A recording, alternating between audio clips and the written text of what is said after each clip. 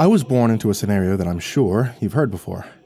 A careless dad knocks up his wife and blames her for it, and in the process, also ends up blaming the kid for existing in the first place. That's the scenario that I was born into. Benjamin, Benny, if you don't mind. My dad wasn't the best person to be around sober, much less drunk, and my mom was more than ready to make excuses for him. He was doing this because I deserved it, or only did these things to me because he loved me. One night, Dad came home exceptionally angry and drunk. Just been fired from another one of his short term jobs. He was drowning his sorrows away in the only way he knew how cheap beer and taking his anger out on me. At this point, I was 12 years old and a wreck from constant verbal and physical abuse from my dad. I hardly said a word to anyone for fear of some sort of retaliation that my dad would be sure to give me for daring to speak out of line. So I figured why bother to speak at all? Yeah, wasn't a very good solution either, since not answering my dad would lead to a beating as well. It was a lose lose scenario. After I'd gotten a good thrashing from my dad and left her a crying mess on the floor, Bruised and shivering, my mom quickly came over and pulled me into her embrace. She patted my head and rocked me back and forth in an attempt to stop me from crying. Though I don't think that she was trying to comfort me. She was just trying to up my cries so that I wouldn't further upset my dad. He's just been having such a hard time holding down a job, she told me, patting the side of my cheek that wasn't bruised from my dad's slap. You have to understand, Benny, he does all of this for us. She told me. I looked up at her and I saw her fake smile, the one she put on to try to reassure me, and herself. At that moment, in a fit of fear, anger, and disgust, I shoved my mother away and I ran for the door. She called out to me, and I could hear my dad barking at me, but I didn't even bother to turn around. I sprinted as fast as possible into the woods surrounding our house, without so much as a glance back. I ran into the thick branches and bushes of the woods and kept running until I felt my lungs would pop from exertion, falling to the floor against a dead tree. I curled up into a ball and began to cry silently to myself. This wasn't a planned thing. It's the middle of autumn, and I hadn't thought to bring a jacket or hoodie. In the distance, I could hear my dad and mom shouting for me, but their voices were far away and almost like echoes from a canyon. So I simply stood up and kept walking, hugging myself to try to keep warm and hiccup crying as I carried on deeper into the woods, sniffling and crying all the way. I must have wandered for an hour or so, so the sounds of my parents long gone by then. I was sitting next to the creek that cut through the forest and passed the time by tossing pebbles into it watching the ripples that were created and the occasional small fish that swam by to inspect. Curled up in a ball, I thought about what I could do next. Go back home and endure these beatings until the day my dad finally snapped and killed me? Tell the police and end up in foster care? None of these were good options, so I just stuck there next to the creek. My endless thinking was interrupted by the snapping of branches on the other side of the creek. Looking up quickly and reaching for a nearby stick to protect myself, I was confused to see the silhouette of a dog staring back at me. At first, I thought it was a shadow of a dog, then I realized the dog itself was completely pitch black. It stared back at me with bright red eyes. It was like every cartoon scenario had come true in my head, and I was completely taken aback. Didn't make any other moves for a bit before it suddenly started walking down the creek. I watched it for a moment as it started walking slowly down the direction in which the creek flowed. I watched it for a moment before standing up and following it. Something deep within me was telling me, follow it. It wasn't a command like my dad would give me, it was more like a suggestion, one that I decided to follow. We both walked parallel to each other down the creek for a while, each of us aware of the other, but not acknowledging each other. As the sun began to set, we came across a fallen tree that acted as a bridge to access the other side of the creek. We stopped and each looked over at the other. Each of us wondered who would cross. I looked back behind me towards the direction of where my house was. It took me only a few seconds to decide to cross the fallen tree and follow this strange dog. Having crossed the log without much issue, I carefully lowered my hand to the dog so he could sniff me. but he didn't bother. He simply turned around and started walking towards the tree line behind him. Taking a deep breath, I followed after him, fully intending to see where this would take me. As the sun dipped lower in the sky and the wind began to pick up, I shivered as my lack of clothing began to catch up with me, but the dog continued on his way, and I had no other option but to follow him and hope that he would arrive at our destination soon. As the sun had nearly set completely, we suddenly came upon a clearing. To my absolute shock and wonderment, there in the clearing in the middle of the woods was a giant circus tent. The lights were bright and shining, and most importantly for me at that moment, warm. Before I could process the fact that a whole circus had somehow spawned in the middle of the woods, the dog suddenly took off running towards the tent, letting out a strange bark as it did so. It soon disappeared into the tent, and I was left with a new dilemma. Freeze out here, or risk being taken back to my parents and enter the warm looking tent. Warmth won out in the end. Taking careful steps, I dared to enter the tent and was immediately vindicated in my decision as I was greeted by warmth and the bright lights and colors of the massive tent. It was laid out like a normal circus with a bunch of seats surrounding an arena. I was amazed, having only ever seen a circus on TV. It was like a dream come true to see one in person. I was about to take a seat when I noticed the dog quickly running across the seats and towards the other side of the tent.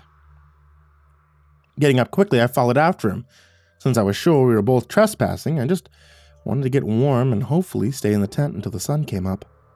The dog quickly ducked through another doorway and disappeared down a corridor that connected to another tent that connected to the main big top. I followed him as best I could, wondering where all the workers were. I didn't have to wonder long.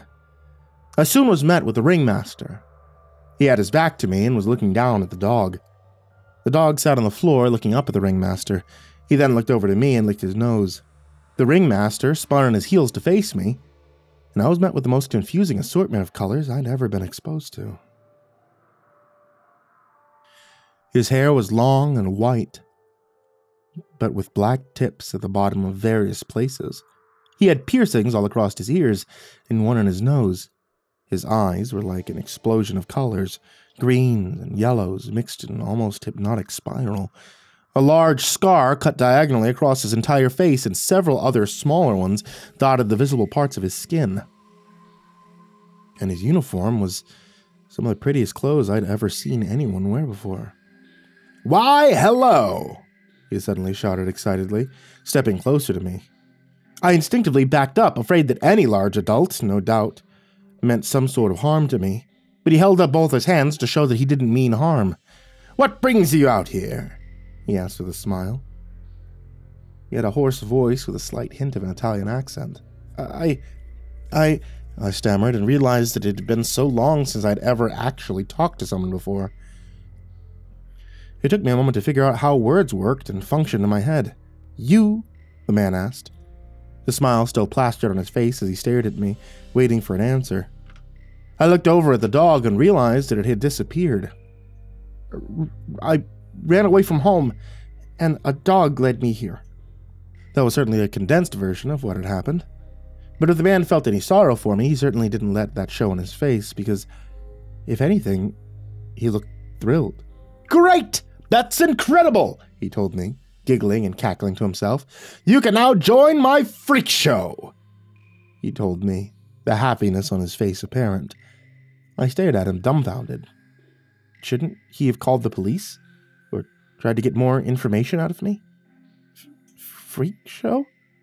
I thought this was a circus, I said, looking around at the tent that surrounded us. He looked around with me and gave me a shrug and a hoarse snicker. I guess it does kind of look like one. But I can assure you my freak show is way better than a lousy circus, he told me with excitement. It was almost infectious how happy and excited he was getting by just me being there.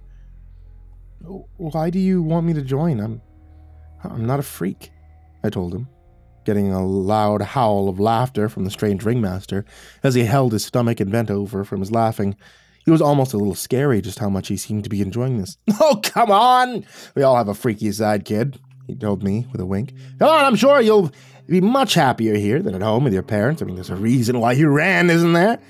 There always is, he said with another loud cackle. I swallowed a lump that had formed in my throat.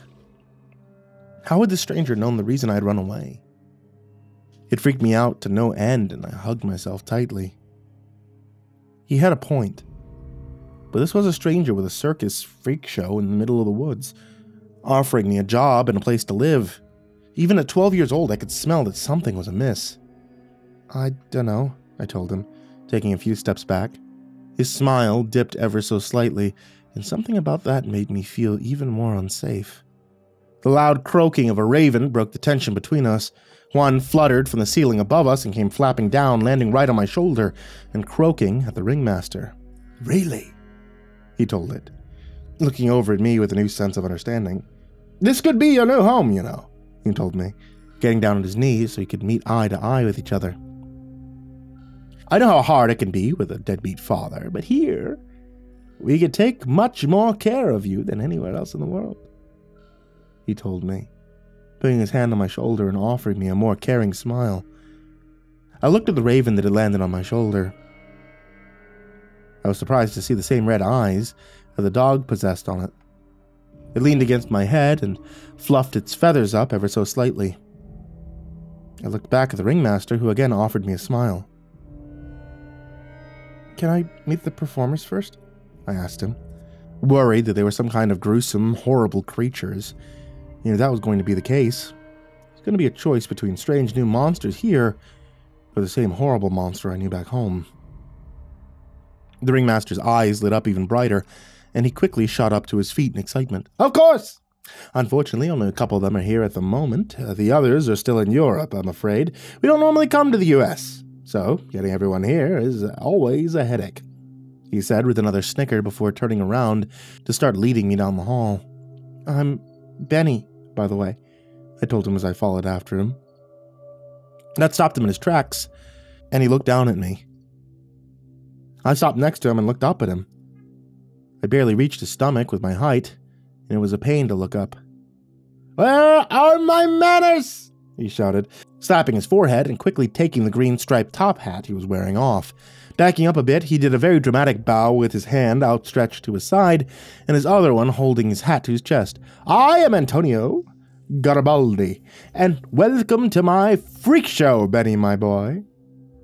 The lessons got a real big laugh out of him, and he pat me on the back and practically skipped down the hallway towards the other tent. But please just call me Tony from now on. he told me as I followed after him. Looking over at the raven on my shoulder, I offered it a small, nervous smile. I used my finger to give its head a small scratch as I followed after Tony. The raven made a few small croaks as I did so, which I took to mean that it was enjoying what I was doing. Tony lifted the tent's flap for me as I stepped into the warm light of the second tent. I was suddenly almost hit with a flying knife that came flying towards me and embedded itself in one of the wooden posts that held the tent up. Fucking hell, boss. A little warning would have been nice. If I had known that you were bringing a stranger, I would have thrown a few more. A strong Russian accent greeted me after I had gotten done having a mini heart attack from what I was sure was a near death experience. If I was scared of what just happened to me, then seeing the person who had almost just killed me sent me further into shock. The person who had thrown the knife that had almost ended my life was a tall, heavily scarred man with messy black hair. His mouth had snakebite piercings and was contorted into a pissed off scowl. My little 12 year old eyes wandered down to the metallic left leg that he possessed. If it was a rude thing to do to him, what would you have called him throwing a knife at me? Benny! Tony's chipper voice broke my disrespectful gaze, and I did my best to act like he didn't have a prosthetic leg. Meet Nikolai Dmitrovich! my lovely Russian knife thrower. Don't mind his attitude, it doesn't get any better the more that you get to know him. Tony said with a chuckle as he grabbed the knife from the post and tossed it back over to Nikolai. He grabbed it with so much as a glance towards the object and returned the favor to Tony with a middle finger.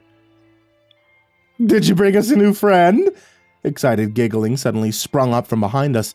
Turning to the source of the giggling, I was shocked to see a clown strapped to a revolving wheel the kind that a knife thrower uses for target practice, and sure enough, the clown's entire silhouette was outlined neatly with a row of knives.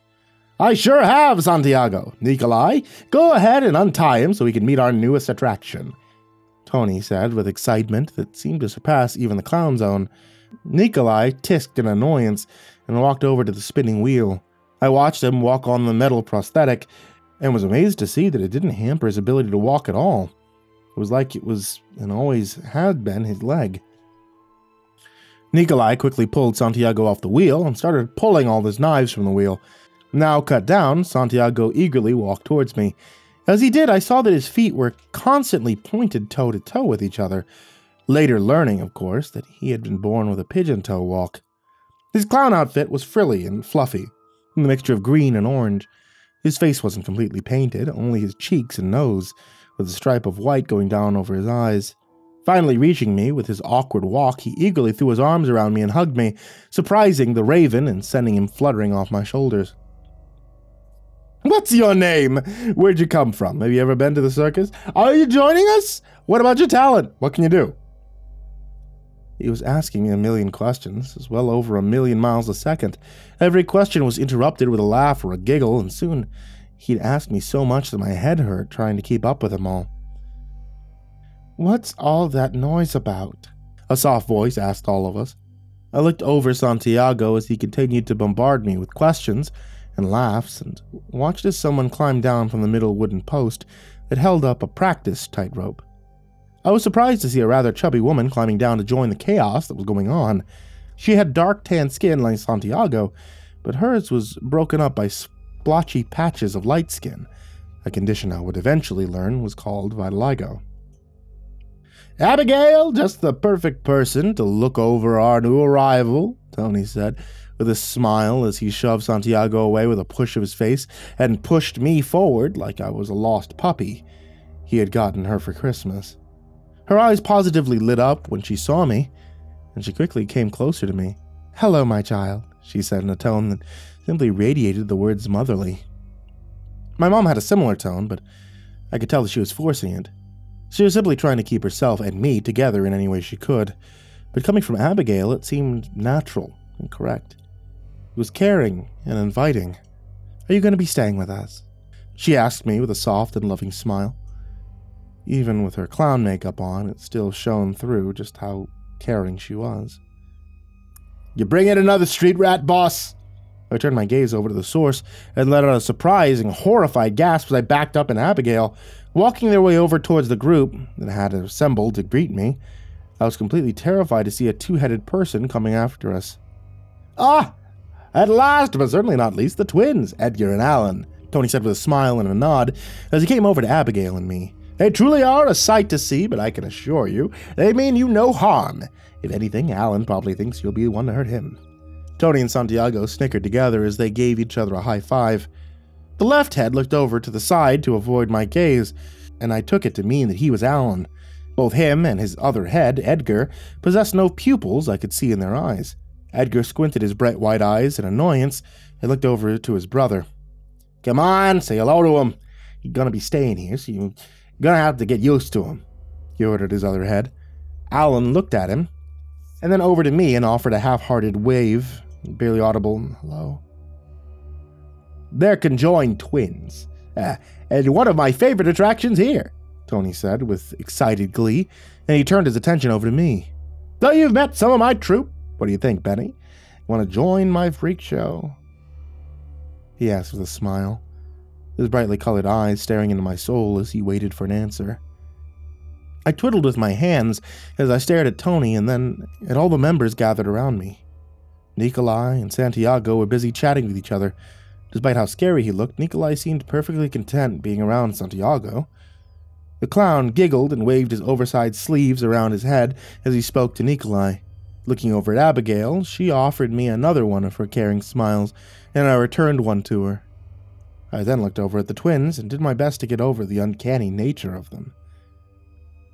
What would I even do here? I asked Tony.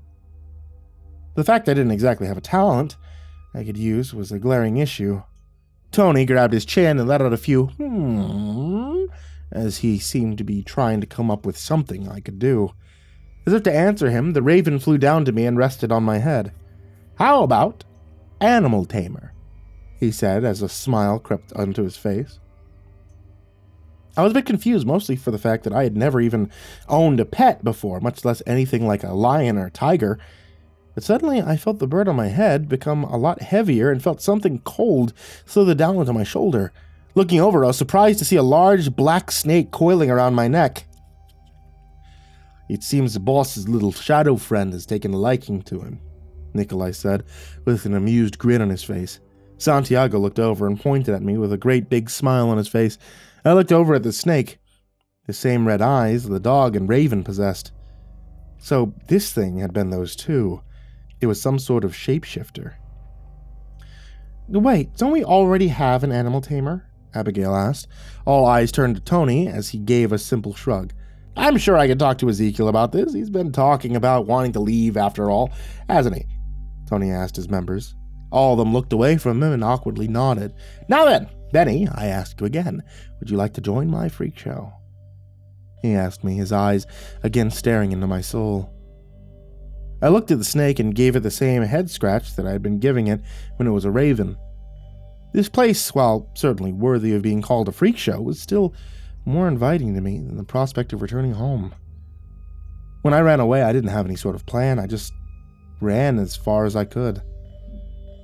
And here was this opportunity to start a new life. Yes, I told Tony. His smile grew wide. I thought he was going to scream with excitement. He did the next best thing and threw his arms around me and gave me a huge hug. He passed me along to Abigail as she excitedly came up and wanted to hug me next. Even Santiago joined in and wrapped his giant, oversized sleeves over me. Nikolai and the twins couldn't care less about me, though, which was fair. Tony showed me where I'd be staying for the night a bunk bed and one of the spare tent rooms he had in the living quarters tent. He promised me that he would soon have a proper room for me and a costume for me to wear. Abigail and Santiago came to my temporary room to wish me good night, and to tell me how excited they were to have me there. I couldn't sleep, though. I mean, who could after suddenly deciding to run off and join the circus? I sat up in the dark room and held my new snake friend in my hands as he slithered between my fingers. I smiled and watched as he changed sizes from small little snake to a much bigger one. My mind went wild with the kinds of animals he could turn himself into. I thought this place could be my new home. I could grow up to be an amazing performer. Sometime in the middle of the night, someone tried to open the tent flap across the room from mine and couldn't get it open. I sat up in bed after a few failed attempts to try to get some sleep and tried to tune my ears to see if I could hear anything outside of my room. Ezekiel, I was just looking for you. Tony's chipper voice suddenly rang out in the hallway. I stood up from my bed and tiptoed over to the door to get a clean listen. What's the matter, sir? Why is my tent locked? The stranger's voice asked Tony. It's probably the current animal tamer. Tony's chuckles were loud and easy to hear from where I was. He was pretty close to my door. Well, it seems I found a replacement for you, Zeke. See, you've been saying how you've been wanting to leave the freak show for a while now, haven't you? He asked Ezekiel. There was a long pause where I couldn't hear anything from the two of them. Oh, what do you mean, sir? You, you know I love it here. Ezekiel was trying to reassure his boss that he indeed wanted to stay at the freak show. Ah, Zeke, you shouldn't lie to me. You both know you've been telling the other members how badly you want to get out of here, so why not? You just take an extended break from the show. I've already got a replacement lined up for you. Tony said, and I felt a chill run up my spine. I was that replacement. Please, sir, I, I just. Ezekiel was cut off before he could even say anything by Tony chuckling at him. But as his laugh continued, his already hoarse voice became more otherworldly. I could hear some kind of cracking and snapping coming from the hall. Then all of a sudden, a rush of noise, the sound of someone running away. Don't run, Zeke! You'll only tire yourself out! Tony cackled as his strange new voice seemed to chase after the running steps. In complete terror over what I had just heard, I, I ran back to my bed and I dove headfirst into the blankets. I pulled them over my head. Still having the sense that if I covered myself completely in blankets, no outside force could harm me. The next day, I was awoken by Santiago jumping on my bed in excitement about the fact that the breakfast was being served in the main tent. I told him thank you and watched as he slowly waddled his way out of my room and down the hall. As I stood up from the bed and rubbed my eyes, trying to get the tired out of them, I bumped right into Tony as he waited for me at the door. Great news, Benny! Looks like you'll be our new animal tamer, he said with a happy smile. I stared up at him and remembered everything that I had heard the last night. That that's great. But what about Ezekiel? I asked him. And he gave me a giggle and tousled my hair with his hand. Don't worry about that. I took care of him. Now come on, we're family here. And we eat all our meals together, he told me. A smile on his face, and I, I couldn't help but notice the scar across his face was leaking some blood. I nodded cautiously and followed him as he led me to the main tent. I've thought back to that night so many times.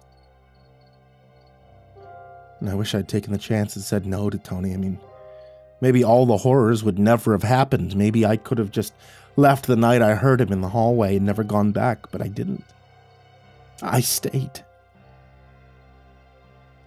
And that mistake will haunt me for the rest of my life.